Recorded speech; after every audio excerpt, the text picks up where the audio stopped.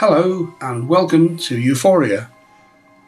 This channel explores designing, creating and building models for a LEGO city. We'll be exploring the joys and challenges of building official LEGO sets and designing and making modifications and my own creations. In this video I'm going to build the LEGO Harry Potter Hogwarts Clock Tower set. I bought this set because I like the look of the building and the parts it contains Although I'm not a great Harry Potter fan, I think this is a great looking build that could be developed into something else. This video will contain a speed build of most of the set and I'll give you my thoughts on the design and use of parts. I'll also be building this set in a LEGO CAD program so that I have a digital build that I can use in my MOC design later. See you later on in this video for details of how I do that.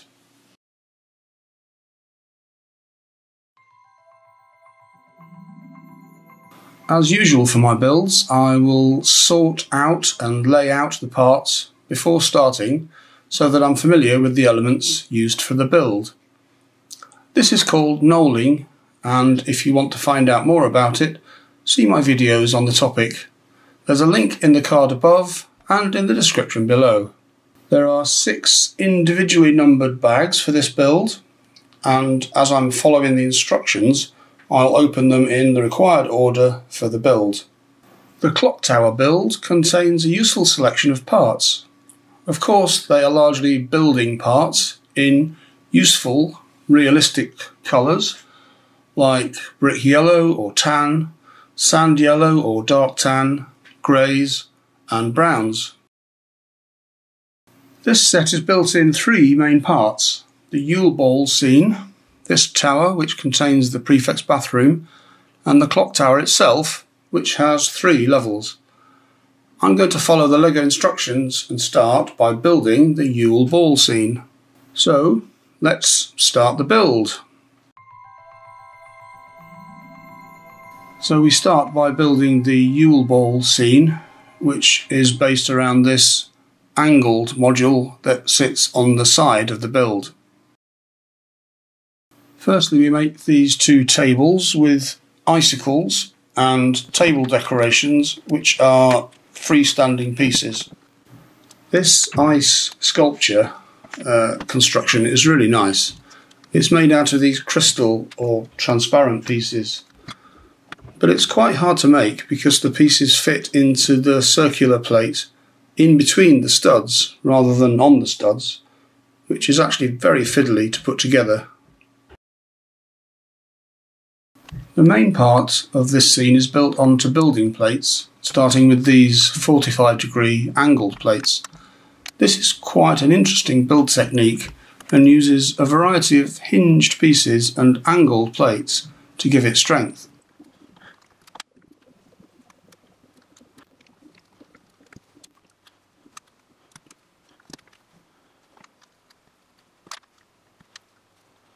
Using plates at different angles gives the build some interesting facets and allows it to be freestanding or be connected at an angle to the other parts of the set. However, it can't be built onto a base plate because the plates are at different angles that won't connect to the base plate. This means that this angle technique is clever but a bit limiting for use in other builds.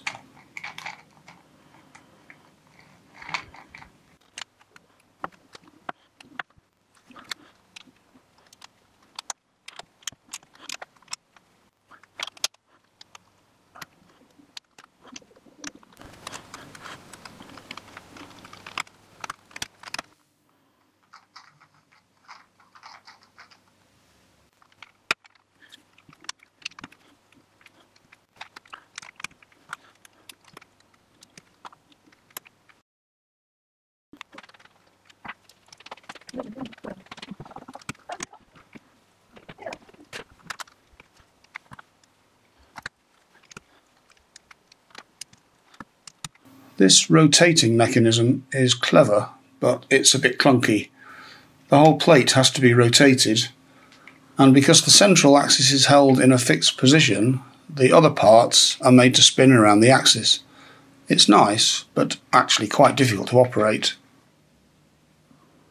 It's an interesting and clever piece of design to represent this scene in the movie, but it is very specific to the movie.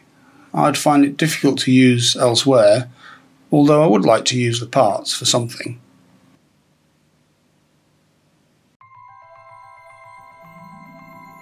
So the second part of the build is the tower and prefect's bathroom. Here I've laid out the parts again from the second bag.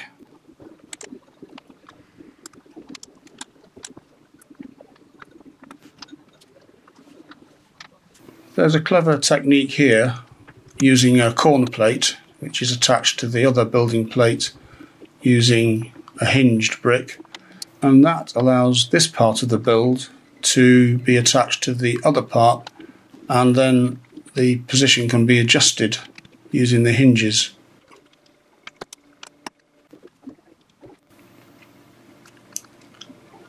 This part using the transparent rods and these golden tap pieces is really nice because it looks like water's flowing out of the tap or faucets.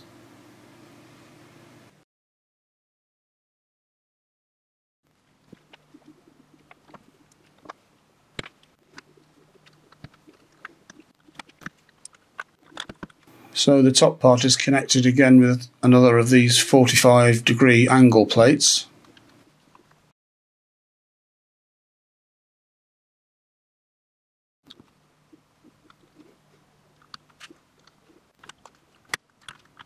And then the build's topped off with a conical tower, which is made up of two half cone pieces, which of course look like the outside of the tower from the front and the inside of the tower from the back. So that's the Yule Ball scene combined with the prefect's bathroom, which I think in the movie are two completely separate things, but here they seem to be joined together. There are some nice minifigures in this set if you're into Harry Potter. They're nicely made and very detailed. Personally, I think they're Again, very specific to the movie, so they'd be quite hard to use elsewhere.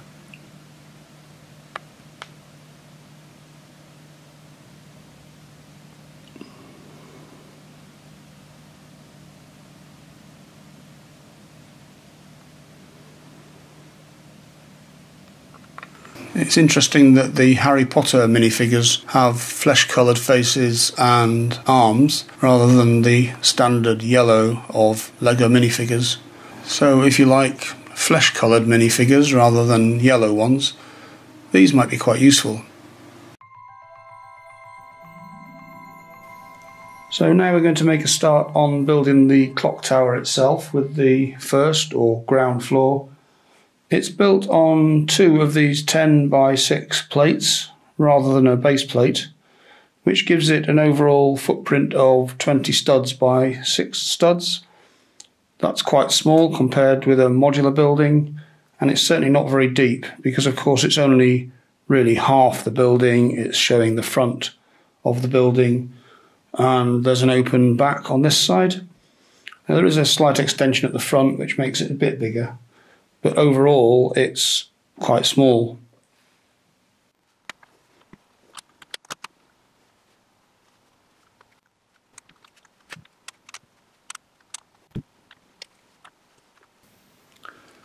So here's the bit that goes on the front that extends the footprint slightly. And actually there's a little bit goes in here as well to make it seven deep on this side.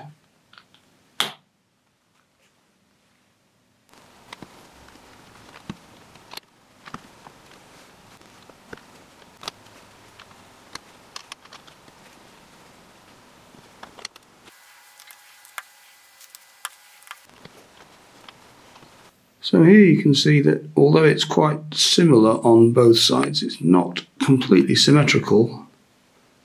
And that gives it a nice organic feel that will There's quite a few of these corbel bricks in this build and they're a really nice brick to use if you're trying to make something that's got a slightly classical or perhaps an old-fashioned feel.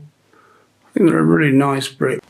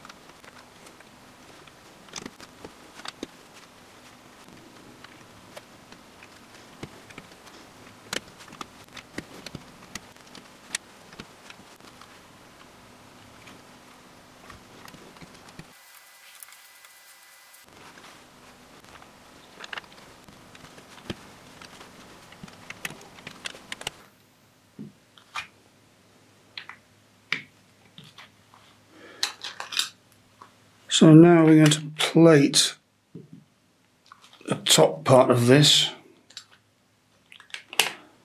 to form the floor for the second story. This is not really how you do a modular build because with a modular you would want to have a row of tiles around the edge so that you could separate the floors. But because this is a doll's house type build with no back, you don't really need to be able to remove the floors in order to access the inside. So that's why it's all built permanently like this. So that's the back view now. And that's the front view, which is quite nice because you've got this effect of a tower on this side.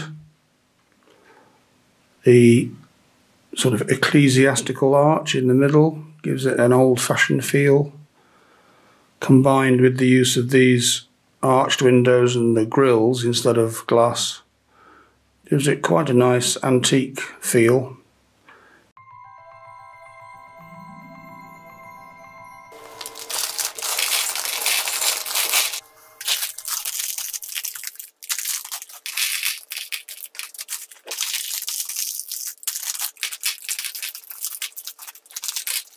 So now we can start building the second floor, or the first floor if you're British. And unlike a modular building, this is built directly onto the first floor, or the ground floor. So that means that the parts aren't separable and the whole building will be built as one entity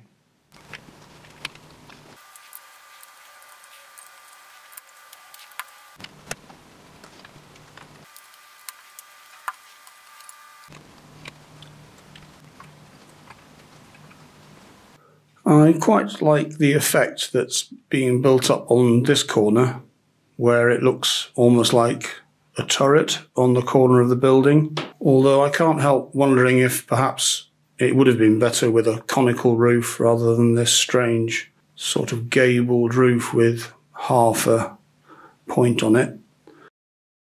Nevertheless, with the different shaped windows, the exposed brickwork, a little bit of detailing, and this inset, it does give the impression of an old building that's been perhaps modified or built up over time.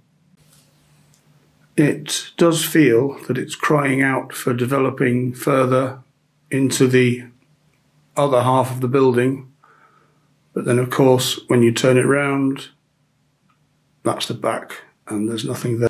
So that would be perhaps a good starting point for a MOC to say how could I turn this into a full building with front and the back. Some interesting techniques here that I want to explore. There's another interesting technique going on in this part of the build using these bricks which have two half arches at half stud spacing and that provides quite a nice sort of capital on the top of this column and that will form one of the main supports for the arch which is the main feature of the front of the building.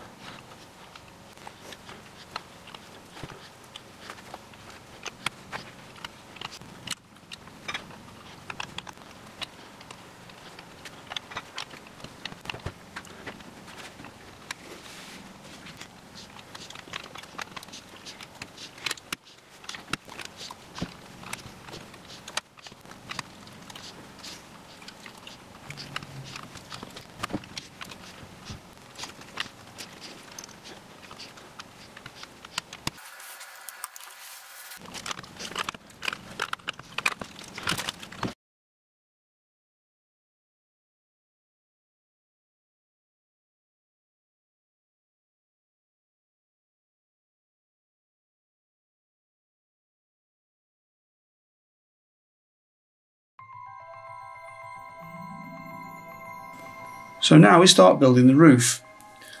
Actually, it's also the third story of the building. I really like the design of the roof. The stepped gable at the ends of the building is very reminiscent of old buildings in continental Europe. The steep, angled gable at the front is as well. In this type of roof, the slope of the roof is actually contained within the walls.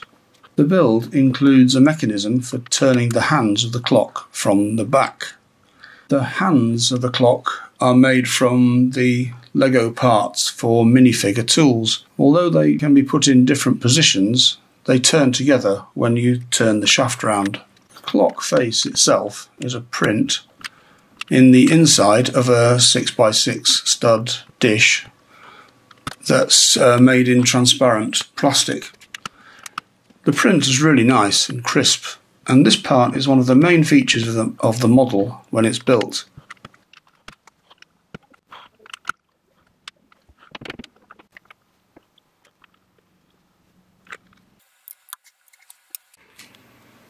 As you can see, once it's built, you can turn the handle at the back, which directly turns the shaft driving the hands round at the front. The sides of the build form the stepped gable for the roof, with the ridge board for the roof across the back being supported on a half arch at each side. The roof is a great feature of this set. This type of roof is called a cross gable roof because it has two gable roof sections that connect together at right angles. I particularly like the internal angles of this roof and the way it's been created in Lego. The roof is made of plates rather than roof or slope bricks. They attach to the building using small plates with a shaft that connect to a plate with a grip on the building. The first set of plates connect at the bottom and lean up to the ridge line of the roof.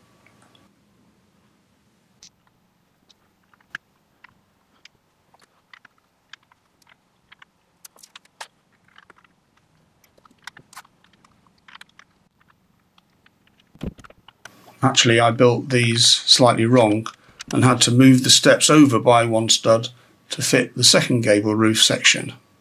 The other angle of the roof is also made of plates that attach to the building using plates with a shaft, but this time they connect at the ridge line and hang down from the top.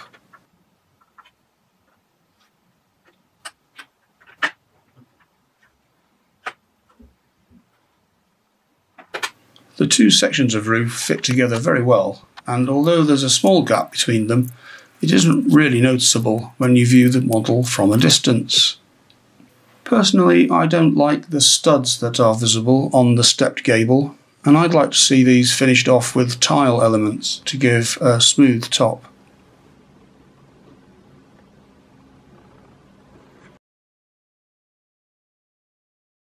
Now I'm also going to build this set in LDD, that's Lego Digital Designer, so that I have a digital build that I can use as part of the design for a MOC later. I see that LDD doesn't yet have some parts in its parts menu. There's no part for the new gear wheels, one with 6 teeth and one with 10 teeth, or for the 2x2 tile with a large hole that acts as a mount and axle for the gears. Nor does it have a part for the top part of the conical roof or the small plate with plant leaves. So you might ask why I'm using LDD. That's because it's relatively quick and easy to use. But it is a bit annoying that LEGO doesn't support its own program with its own parts. There are other computer-aided design or CAD programs. For example, Studio is a LEGO CAD program produced by Bricklink, and it's a good alternative to LDD. I do also use Studio. Perhaps surprisingly, it has a much larger selection of parts than LDD, including the missing types from this set. However, I find the very large selection of parts slower to navigate, and so for this video I'm using LDD. Now that Bricklink has been bought by LEGO, it will be interesting to see what they do with the LDD and Studio programs, whether they combine them or somehow keep both going. Because I intend to use the parts from this set for a MOC, it will be particularly useful then to have the model built first in LDD. You might also notice that I'm using the extended view in LDD. In this view, all the parts in the parts menu appear red, but you can then choose any colour for the parts. I find this quicker than scrolling through every colour of every part to find the one that I want. But if you want to make a physical build using real bricks, you then have to be sure to use colours that are actually available.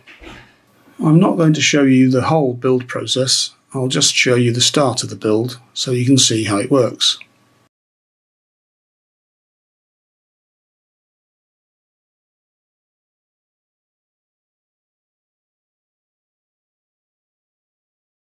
Here's the first part of the build in LDD. So now I've done the same for the rest of the build.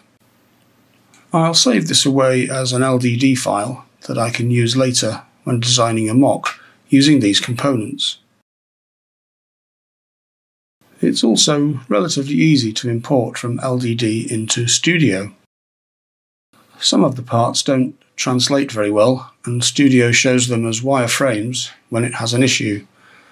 But most of the model comes across fine, and it's fairly easy to replace those parts that do have a problem. I hope that LEGO makes this process a bit smoother now that they own Bricklink. In a later video, I should be able to show you importing this set into another build to make a MOC.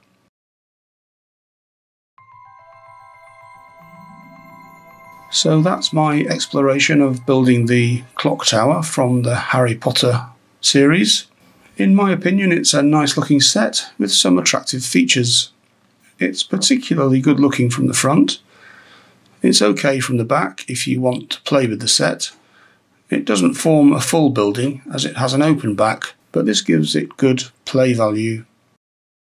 I think it would make the basis for a great MOC, and that's the reason I got this set. I'll probably be making it into something larger, so I'll probably want to construct this on a larger base plate rather than a set of building plates. The set contains a useful selection of parts that I want to use for a MOC. Building this set has given me a useful insight into how these parts fit together and some ideas about how to use them in a MOC. What do you think about this set? What would you do with it? Please let me know in the comments below. Look out for another video in which I will be designing and building a MOC using the parts from this set. Thanks for watching, please let me know what you think in the comments below and subscribe to this channel if you want to see more videos about LEGO modular buildings.